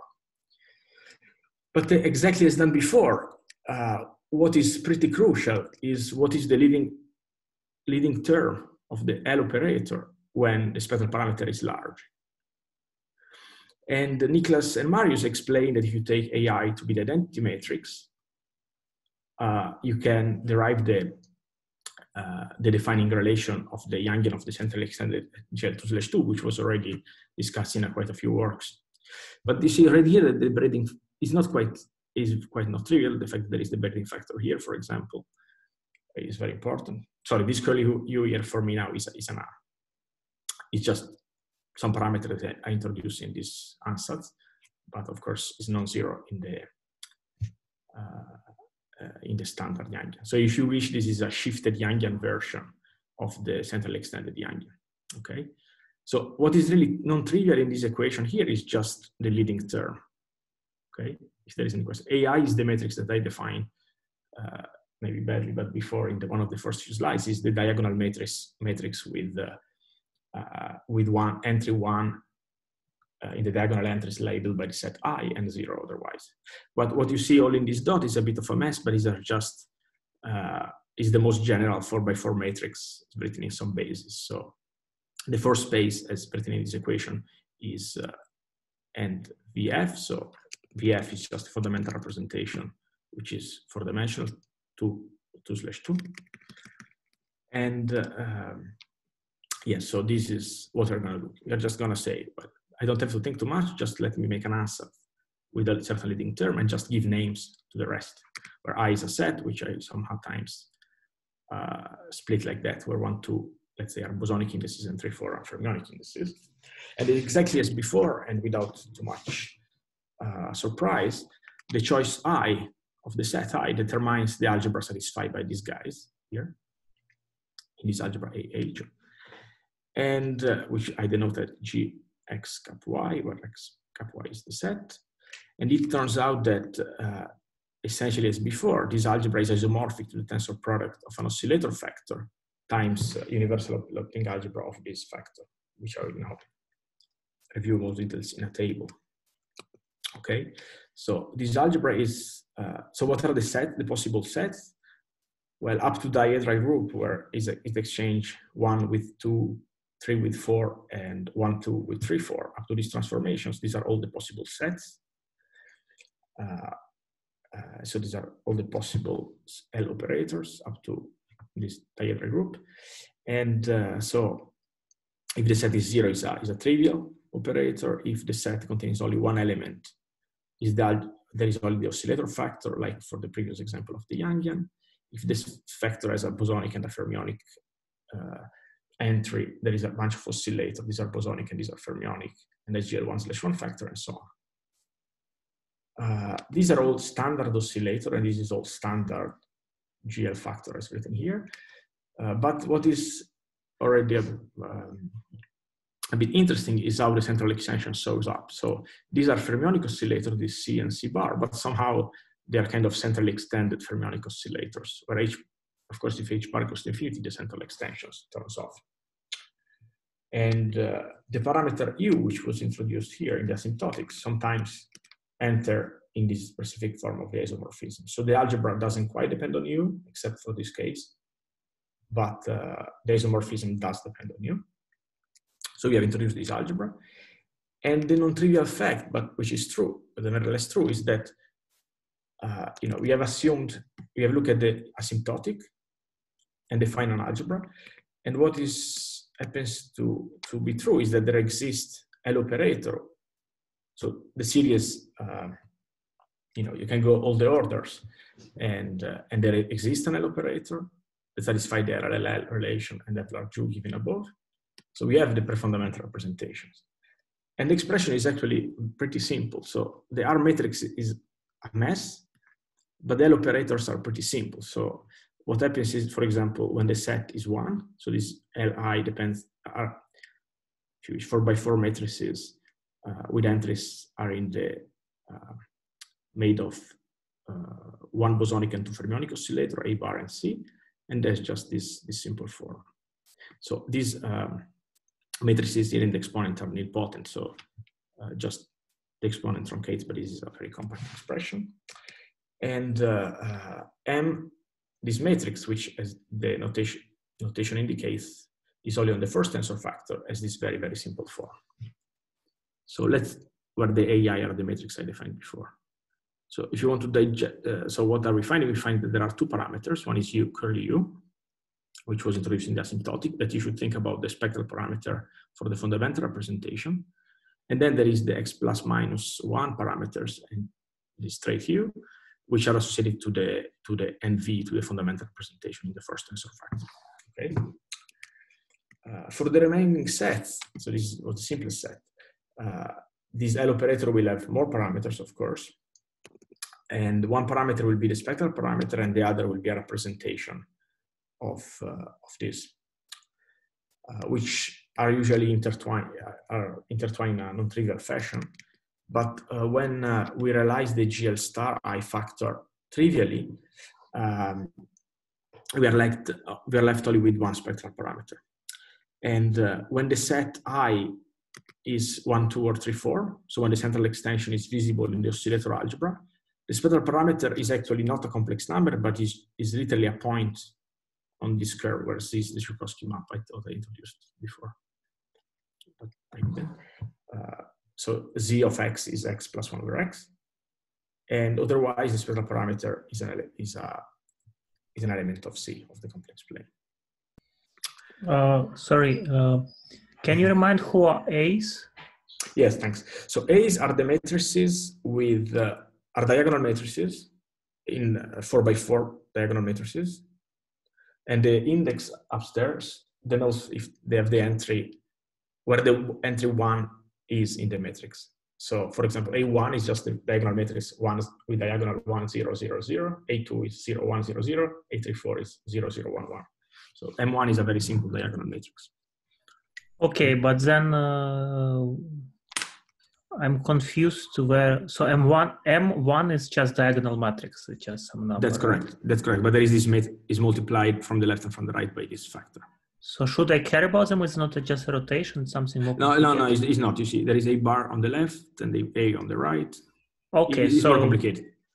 But it's the same. The same structure is true also for the Yangian. Even though I didn't show it, we can rewrite the L I showed before for the Yangian case, Yangian of GLN or GLN slash in this way Okay, so in, in fact, also in this guy, you can just take the h bar to infinity limit and uh, and find essentially the Yangian of GL2 slash 2 up to uh, this Drinfeld-Reshetikhin twist.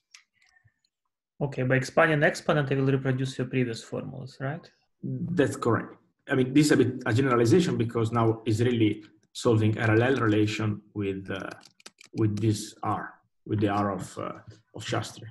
Yeah, but you will not stop at the first term only. You will go like for a long time. Exactly. So the point is that this is exact formula. This one is an exact formula. I just introduced the algebra, uh, this UG, by looking at the first order. But then I, I realize what the algebra is, and I replug it back in the RLL relation and solve exactly in closed form for L1. So this is just a closed formula, all order in, uh, in large little u, if you wish. Large little u is, so I was taking the spectral parameter in the fundamental representation to be large. You know, little u, which is, you know what I'm saying, talking about. Okay, and for this spectral parameter, so you say for i equal 1, 2, and 3, 4. Sorry, it's i equal 1, 2, yes. or 3, 4, or 1, 2, 3, yeah, 4? Sorry. Yeah, they're not, uh, or 1, 2, or 3, 4. Yes, or yeah. So like for two choices of For two, for two choices, yes. You say there is no freedom on spectral parameter. It means I'm not sure how to interpret it. So I understand that everybody should be functional spectral parameter that I'm used to. But what you're trying to say here is that uh, so, so he's saying that it's just it's similar to R, right? So for the R matrix, each space, uh, the spectral parameter leaves. You should think about the spectral parameter as a point on on this curve. Okay. Oh, but H is not fixed, right? I mean, uh, uh, H, H bar is H bar is fixed. Of course. I mean, you think about it as being fixed. Uh, no, I just don't, understand. For for us R matrix or Shastry R matrix, you have yes. spectral parameter, right? Well, but the spectral parameter is not a comp- is a complex number, of course, but it's not an element of C. It's an element of, of a curve. Uh, okay, so it's not a point. It's it's oh, it's a. I mean, it's a point. It's, it's, it's, it's yeah, no, yeah. any point. Okay. It's an element. Yeah. Okay. Hello.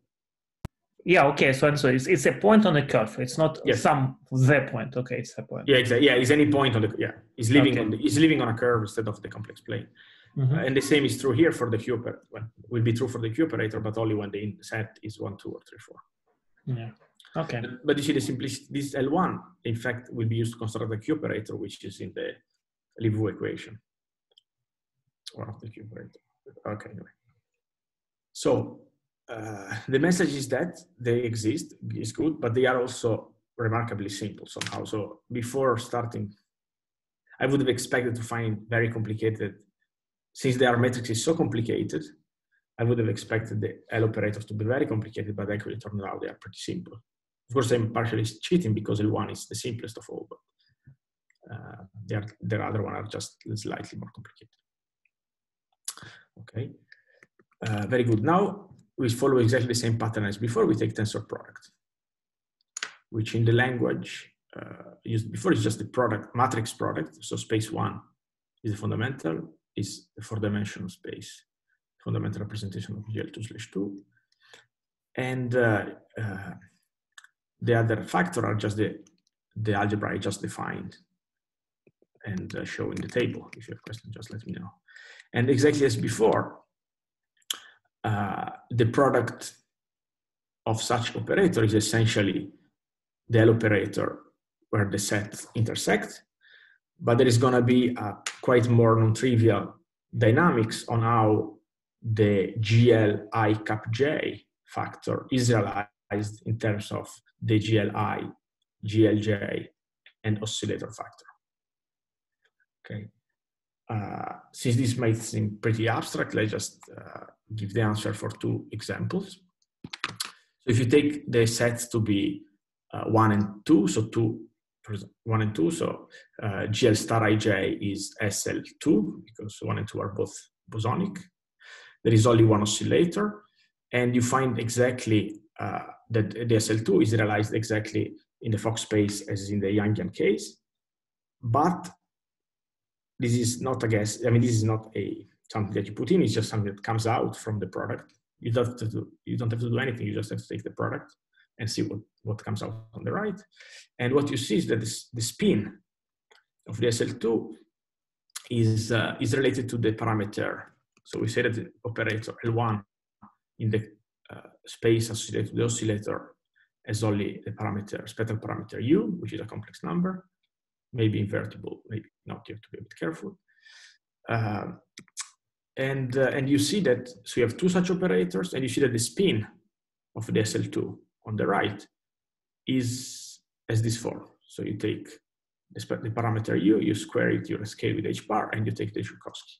So in particular, if h bar goes to infinity, you see that keep curly u fixed, and uh, here finally I wrote the expression of z of x, and uh, and so you get this this property of fusion. So it's very similar to the case of the Yangian, but where the Joukowsky map appears uh, uh naturally and automatically. Similarly for ones, uh, one and three, you have a GL1 slash one, and now the, uh, the representation label epsilon, which is the one I used before. So epsilon is zero is, uh, is the special point where the, the representation is not irreducible anymore. As this form in terms of the spectral parameter of L1 and L3. Okay. Um, there are more formulas, but they have the similar spirit. And now I'll be very sketchy because I was running a bit out of time when preparing the seminar, but I can ask you, we can ask even more in private and also time is running out. I don't want to bother you too much.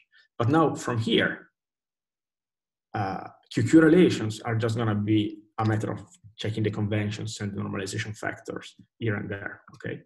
So let's see uh, how it works. For example, you see this second relation. There is a, if you take the product of L1 with L3, exactly as we did before for GL1 slash 1 in the Yangian case.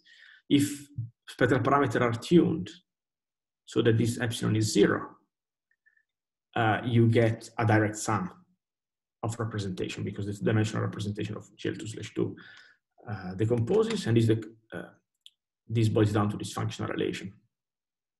So uh, the condition, of course, this condition is solved by saying that one is the inverse of the other and and you find that Q1, Q3, these are very explicit operators that you can construct using L1 that I showed before and L3, which is just a dihedral transformation of it. Carlo, can I ask? Yes, yes. Uh, the Q, that, uh, did it's Q you know, or how do you know it now? The, I mean, you get to call it Q. Did you, did you, can you evaluate like there's a matrix or? So this L, this is matrix, this is a matrix L1 Yes, but then you have to take the trace. And now we'll do the some. I mean, do you know that the trace diverges maybe? Or yeah, sorry. It will like, be is the, it well yeah, defined? Thanks, yes, thanks. Uh, yeah, thanks. Thanks for the question. Is the, is the standard? I skipped a bit, but it's exactly as in the Yangian case. So you just take this matrix, you take tensor product, and then you put the regulator factor, hmm. as usual. So you need this twist to make the trace convergent. Yes. Yes, it's a deformation of the Yangian of GL2. Of, it's a deformation of a Drinfeld Reshetikhin twisted version of the Yangian of GL2 slash 2. Uh, but do you need regulator because you have H bar now? Uh, you still, you still, I, I thought you didn't because of this Drinfeld Reshetikhin twist, but actually you do need the regulator. I mean, you can work, that is my regulator bit, but you, you do need the regulator. At least, yeah, that's, but it's not, we know that the regulator is, there is nothing bad about the regulator. You need the regulator, you need this twist. Uh, okay, so the Q operators have exactly the same form as I showed a few slides ago for the Yangian, just using this L instead of the previous one. But of course, now in principle, you can take a uh, quantum space. You know, you can take a fully inhomogeneous, a fully inhomogeneous uh, chain in quantum space. So every site of the quantum chain will have an x plus x minus attached to it. Okay. While U is the auxiliary space spectral parameter and will be something we can play with x plus x minus at each site will, will parameterize our choice of uh, commuting family of operators, so the quantum space. Uh, okay, so for example, now you can immediately prove this relation. Uh, there is a small, there is this plus and minus here, but q plus minus are essentially the same object uh, up to a shift, but the normalization of uh, this capital Q plus minus and Q13 is, uh, depends on omega, while Q13 is a polynomial in uh, uh, up to the usual non-polynomial factor uh, related to the twist, but let's ignore it in this in the spectral parameter of h bar omega, where omega is u square. Okay, so this is the first QQ relation. You can check it even if you to make sure that it is a mistake for small length. Um, and uh, so this is and is an immediate consequence of this functional of this uh, relation between representation, fusion tensor product relation. And then there is some other QQ relation, for example, where you take uh, a product of Q1 and Q2 where the spectral parameters sit on a curve uh, I defined before, so which is defining this, this curve where J is zero.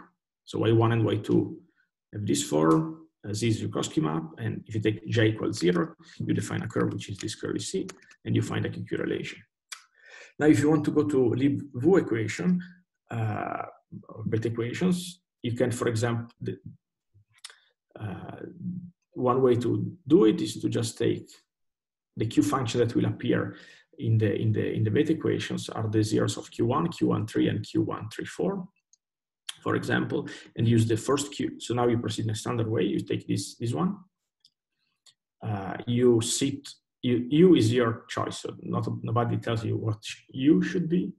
Capital U. So you take capital U to be a zero of Q1, and so you get the ratio of these two Qs is uh, evaluated where omega is a zero of q1 is equal to one or some factor depending on normalized plus minus, which is the first of the Lieb-Wu equation. Okay. I'm sorry if I'm a bit abstract, but uh, you can re realize it. Uh, there is also some literature on that.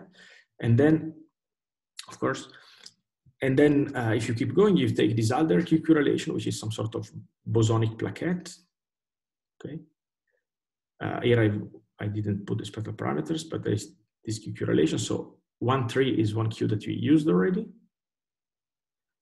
And now, uh, what is the game? The game you uh, you sit you you have the spectral parameter. You even kill you either kill this one, you fix the spectral parameter to kill this factor, or to kill this factor and take a ratio, and you get QQ relations. Uh, sorry, and you get another Bethe equation involving uh, evaluated essentially at the zeros of Q1 slash 3. So should where, there be yes. shifts on the right hand side? Yeah, yes, yeah, there are shifts. Uh, I just didn't want to a bit since I was I was a bit sloppy here on the definition. I didn't want to have, but yes, exactly there are shifts. Um, plus here there is no shift, and here there is plus minus one, plus minus. Uh, well, in this convention, plus minus h bar over two. Okay. Uh, and then finally, there is also this other QQ relation, which is again a fermionic type of node, fermionic type of bosonic fermionic plaquette.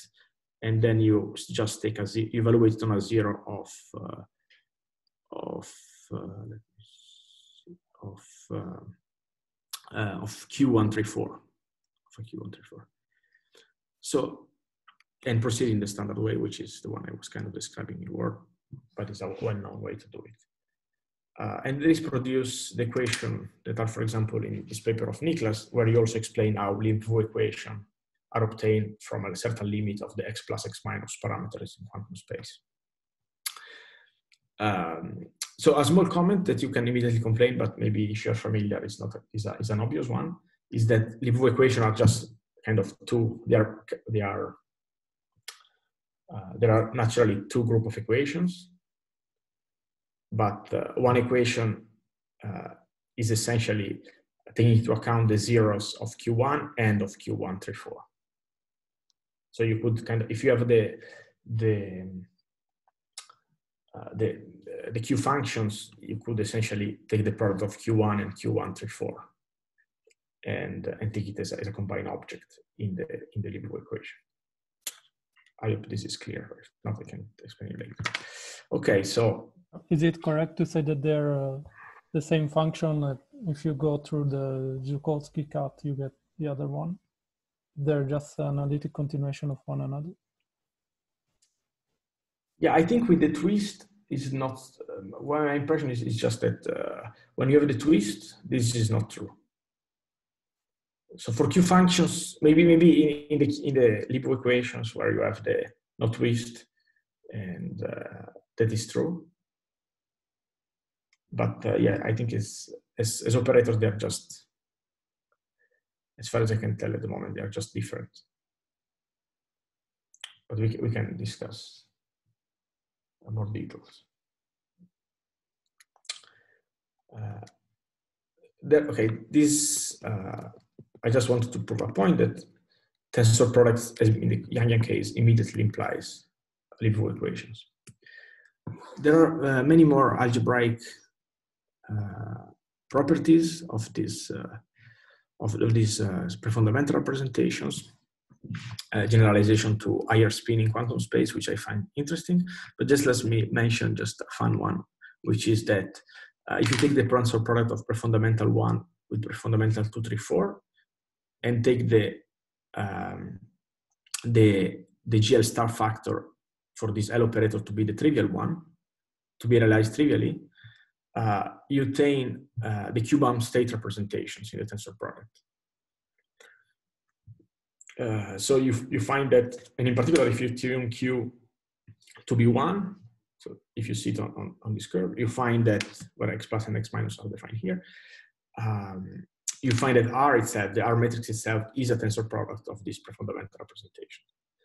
And I think these properties might be might be useful to to rethink about this this R matrix or S matrix, which is used so many times to just even in the bound state representation to just factorize it out as product of of these more very much simpler simple building blocks. So I think it's pretty remarkable that you know, this uh, L1 is, is so simple and uh, L, L234 is very similar. It's kind of its inverse.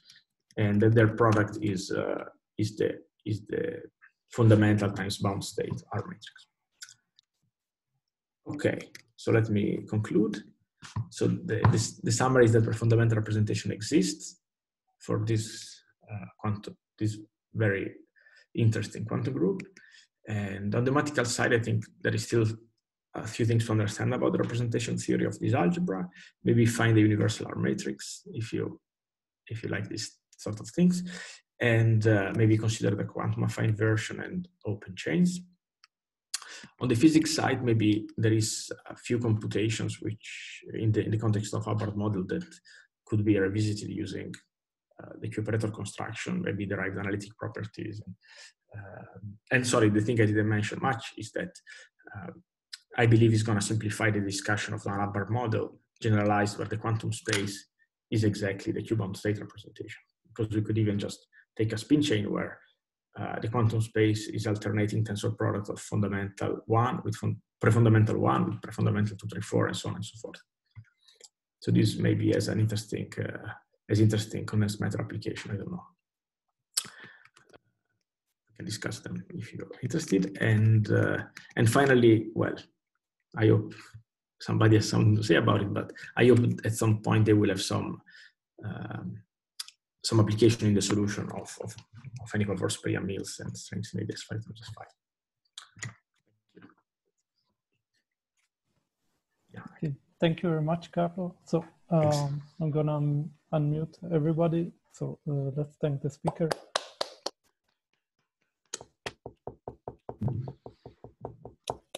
Can I make a comment? Yes. I think perhaps uh, I wonder if one application or one direction to think about would be to try to simplify these hexagon integrands. So when we decompose correlation functions using hexagons, we are instructed to taking S matrices, which are these S matrices of the Hubbard model, right? In mm -hmm. the bound state representations, and that's yes. the part, and then multiply many of them together. Yes. Right now, the only way we know how to do it is to, to ask Thiago Fleury in the chat. Nice. yeah, I mean, a fifth bound state multiplied. And uh, it should be clear that there should be a, a better way of doing it. And uh, if you could, with this Yangian symmetry, constrain the final result of what is the contraction of many S matrices that you take and contract them together and multiply them into a scalar, and then if you could try to understand if there is any Yangian application, any Yangian consequence that could directly find this final scalar, this rational function, that would be great. Can I make a comment? Sure. Yes, sure. Um, scattering matrix in the Hubbard model was uh, calculated some time ago. I sent the, um, through the chat the reference, and it does has uh, Yangian symmetry. That's a reference. That's the end of my comment. Sorry for interruption. Um, but yes, uh, yeah, thanks. But Peter, yeah, I, I had exactly in mind something like that since these building blocks that you just mentioned, the S matrix with bound state enters so many calculations that you have to sum over the bound state number. Yes. Uh, I think it is. Uh, uh, this form might be a technical. This is one of the main obstacles for uh, this, all this hexagon program is that the objects we get when multiplying these S matrices are very complicated. And, uh, so this will be an example of a concrete application. Yes, but but this multiplication is uh, is just you know you just multiply literally the matrices. Just you take a matrix and you just multiply. There is a, and then yes. you connect one leg with another S matrix. Yes. For example, an example is like Yang-Baxter, right? You multiply them in, yes. a, in a way to check Yang-Baxter, but you can yes. do more complicated topologies where after you check Yang-Baxter, you connect one leg in the past to one in the future, put another S matrix. It's like making a, a grid, a lattice. Yeah, that's great. So this, I think, is exactly where the that. corners are S matrices, and you sum over the bound state index as well. So it's, yeah. it's some kind of it's some kind of twisted partition functions because you not only multiply S matrices, but you measure the quantum numbers of the states flowing, and you have some chemical potentials. So it's like you have some kind of a partition function where the vertex of the partition function is this Hubbard S matrix, R matrix, sorry, the Hubbard R matrix, and uh, where you have many chemical potentials at the various legs.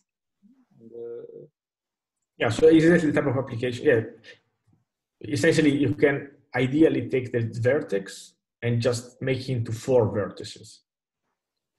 Okay, but each vertex is gonna be much simpler. You know, since the, this Q-bound state representation is a tensor product, you should make each line thick. You know, you can make each line corresponding to bound state representation into two lines. And each vertex, you know, is gonna. So I, I should look at the formula maybe SQ or Thiago. Um, I, I, mean, it would be great if, if it simplifies this type of calculation. Mm -hmm. Uh, sorry, can I also ask a question? Sure.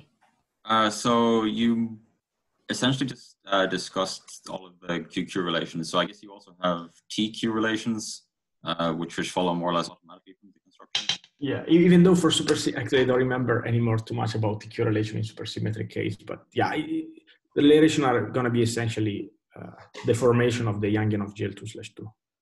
Okay. Yes the only kind of feature is this sort of, you see like here, that you have this QQ relation here, uh, where U1 and U2 are just not, you know, distanced by a factor of half or what, of one or whatever. They are just literally on a curve. You know what I'm saying? You know, it's a one parameter family of QQ relations, but the parameter is not just arbitrary, it's just a very constrained thing. Um, so your question about was TQ relations, yes. So essentially, even though I didn't go all the way, I'm pretty sure that uh, all the relations are essentially a deformation of the Yangian of GL2 slash 2, but with this feature I'm just describing. Mm -hmm. Okay. Um,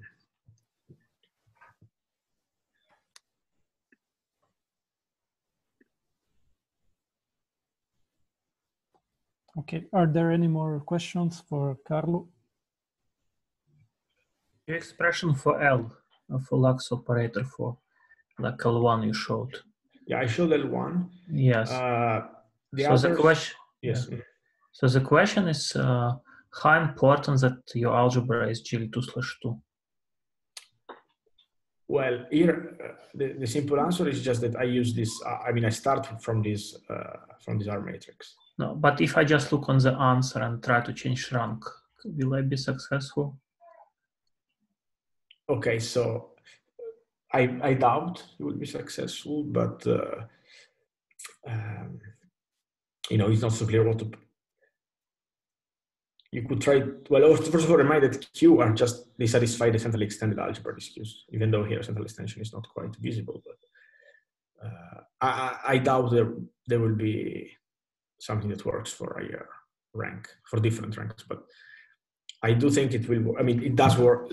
The first comment is that this formula is actually as an immediate generalization to any, so here the first tensor factor is the fundamental representation but this formula generalizes to any representation in the first tensor factor, where you have just to replace M1 with another object, even though I didn't, I don't have a completely closed formula. But uh, concerning L12, L13, and so on and so forth, they have all a very similar structure. In particular, if uh, the GL star factor here, these guys are realized trivial. If this bit is trivial, which is what you do if you really want Q operators, then the expression for the L operator is, is very similar to this one. But there also exists uh, analogs of Shastry's OR matrix for general GLM slash N, right? By coupling. There is, uh, but so you can probably yeah, repeat the same story. Yeah, that I imagine, yes. But somehow I, I was told that they are not really, I, I don't know, I never really look at this I rank generalization of the Hubbard. But somehow they are not quite as as interesting as far as I could tell. As far as they're not as quite as non-trivial as Apple, but maybe I'm wrong. I just I, I didn't look at those models, but yeah, I believe I imagine that uh, if if these R matrices are there with I rank, then one can repeat a similar story. Yes. But those other higher ranks will not have this kind of fancy centrally extended. This is very specific to GL22 yeah, exactly. Yeah. So I don't know what, what these things are based on, these higher rank things. There is, I mean, there is some work, but uh, I don't know exactly how non-trivial are these R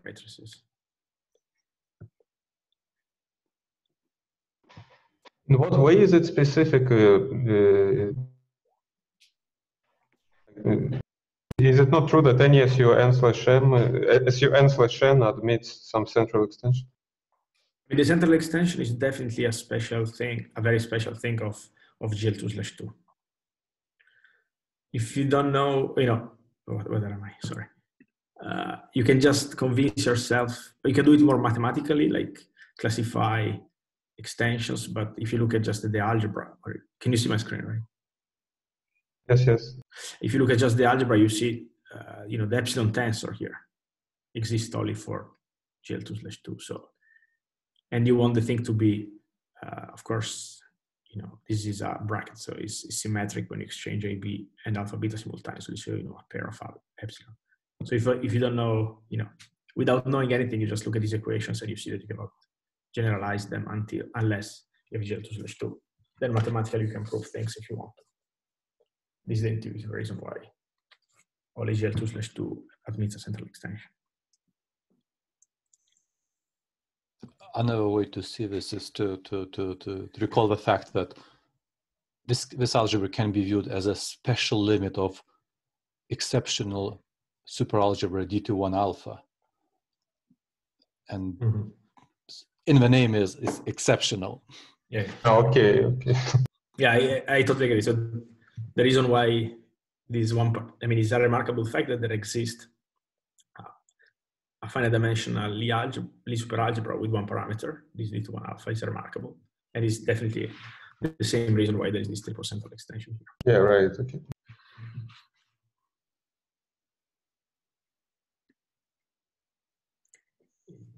But yeah, so what one thing I find quite exciting is this uh, uh, higher dimensional, you know, uh, putting in quantum space this bound state representation, which I don't know if somebody I know that probably Frolov was working on it some time ago. I don't know. If, yeah, I don't know what happened to that, but there was some issue with hermiticity, but sometimes it's not that important. Uh, yeah, putting higher representation in quantum space, I think is, is still an interesting question.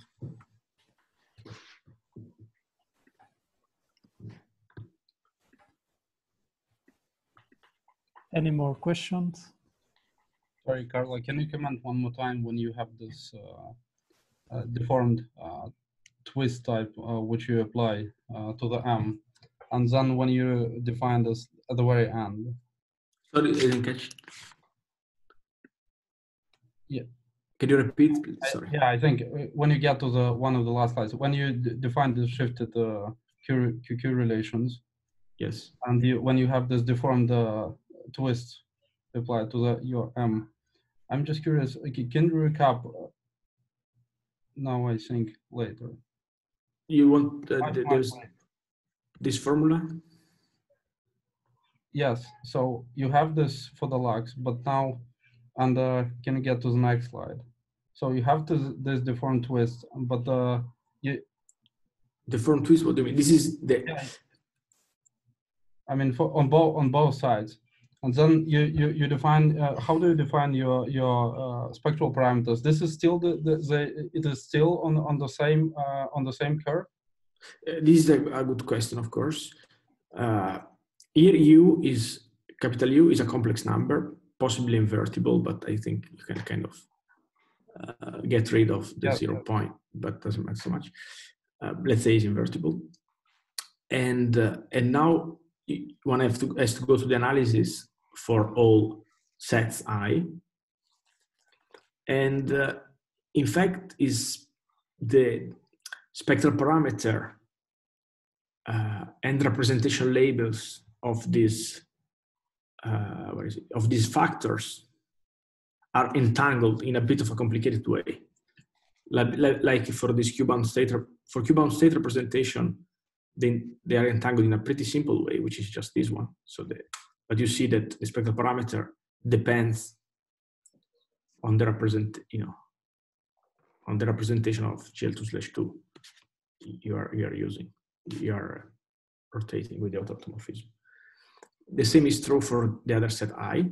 So it, I didn't mention, I didn't show all the cases because it's a bit long list and a bit complicated, but uh, in general, the parameters on which Li depends are morally one spectral parameter and the representation label of this uh, of uh, sorry of this factor so one spectral parameter and the representation label of this factor but they satisfy some pretty complicated relation some sort of curve that uh, involves the casimir of this gl of these factors okay and, okay okay okay uh-huh. and it's a bit complicated but if these factors are realized trivially so all these casimirs are zero and these guys are realized trivially, then the spectral parameters is what I wrote in this footnote here, in this note here. So if the set i is one, two, or three, four, the spectral parameter lives on this curve. Otherwise, it's, it's a complex number like for L1. Okay. I, I hope this answered. But this is the spectral parameter, of course, in auxil in the you know in this yeah. fundamental space. Then there is always the spectral parameter associated to x plus and x minus. Sorry, I didn't define x bar minus, but it's just one over x minus. Sorry about that.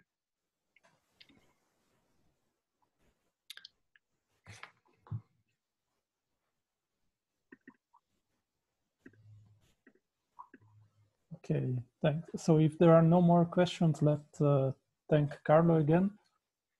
Thank you. Thank you.